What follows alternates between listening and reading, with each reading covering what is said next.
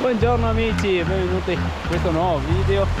Oggi andremo alla ricerca del col nudo.